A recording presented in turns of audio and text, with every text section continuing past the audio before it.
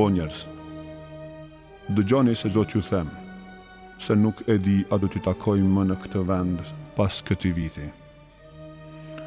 O njerëz, frikësohuni prej Zotit, dhe respektojeni atë. Bëhuni të njerëzishëm dhe të drejtë ndaj vetes dhe ndaj të tjerëve. Kjo është dita e faljes dhe tolerancës në emër të Allahut. Vërtet, gjaku juaj, nderi juaj dhe pasuria e juaj janë të shenjta, derisa të takohni me Krijuesin tuaj. Ashtu siç është e shenjtë edhe kjo ditë në këtë muaj dhe në këtë vend.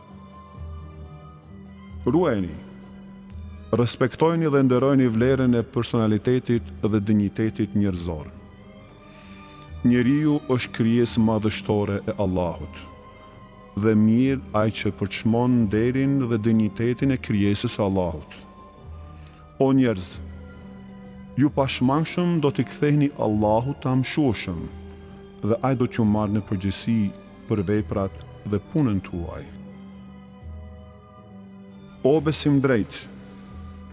Dini se ka përfunduar koha e dekadencës dhe traditave të këqija, të cilat i kanë sjellë aq fatkeqësi gjinisë njerëzore.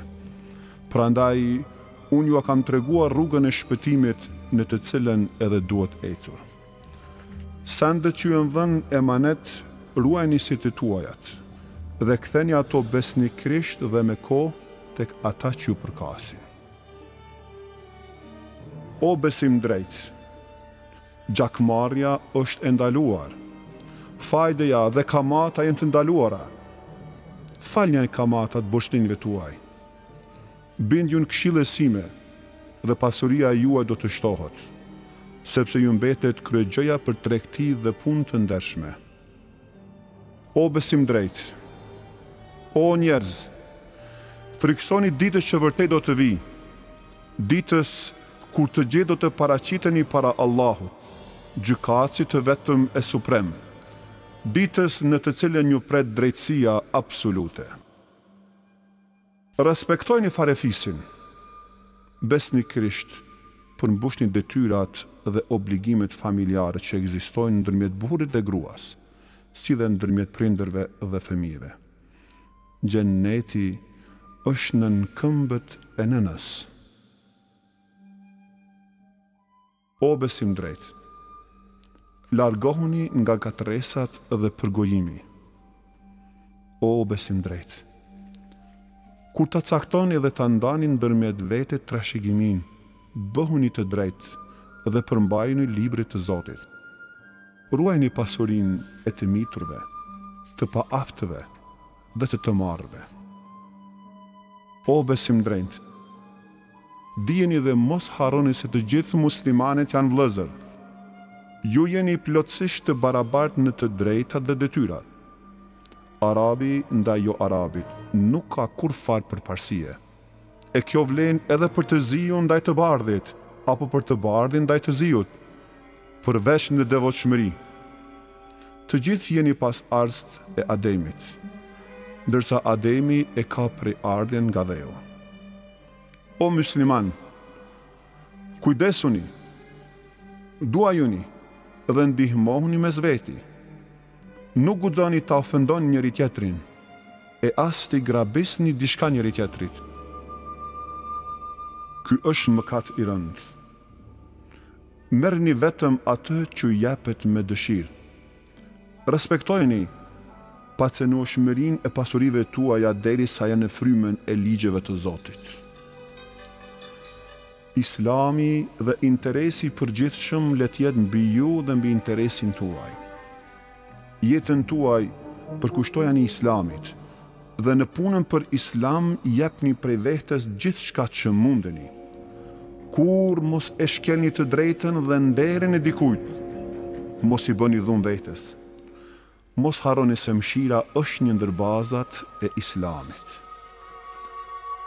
O njerëz, dëgjoni se ç'po ju them dhe mbajeni mend mirë. Po jua lë librin e Zotit Kur'anin, të cilit nëse i përmbaheni, gjithnjë do t'ju ruajë që të mos e humbisni rrugën e drejtë, rrugën e drejtësisë dhe të së vërtetës. Kur'ani është libër i qartë dhe i shenjtë, vepër e vërtetë e Allahut dhe fjalë e Tij, në vërtetësinë e së cilës nuk ka dyshim. Para vetes e keni tërë jetën time. fjalët dhe veprat e mia. Gjithçka që kam folur dhe punuar jam përpjekur të jetë në përputhshmëri të plotë me urdhërat e Zotit të Plotfuqishëm. Ju vërtetë nuk do të lajthitni nga e vërteta, përderisa t'i përmbaheni Kur'anit, Librit të Zotit. dhe Sunetit, traditës sime. O njerëz! Pas meje nuk do të vijë më lajmëtar tjetër nga Zoti, dhe pas jush, populli nuk do të ketë më pejgamber. Pra, Bëni ibadet. Besojini dhe adhurojeni Zotin. Falni pesë namazet në kohë. Agjëroni muajin e Ramazanit. Jepeni zekatin me plot zemër. Kryeni haxhin. Si dhe respektojini urdhrat. Kështu do të hyni në xhennetet e Zotit tuaj. O besimdrejtë, flisni gjithnjë të vërtetën e pastër. Urrejtja asnjëherë të mos ju largojë nga rruga e drejtë. Drejtësia është motra e devotshmërisë. Frikësojuni Allahut, se Ai i sheh veprimet tuaja. O njerëz! E dëgjuat porosinë time? Pra, futeni atë në zemrën tuaj dhe praktikojeni në jetën tuaj.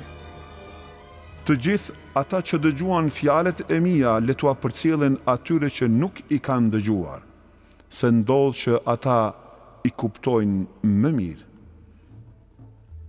Këto ishin porositë e fundit Muhamedit alejhi selam, drejtuar botës së mbarë, dhe pas këtyre këshillave sublime, atij iu shpall ajeti i Zotit të Lartmadhëruar. Sot, Juve ju kam përsosur fenë tuaj, plotësova dhuntinë time ndaj jush dhe jam i kënaqur që Islami të jetë feja juaj. El-Maide, ajeti tre.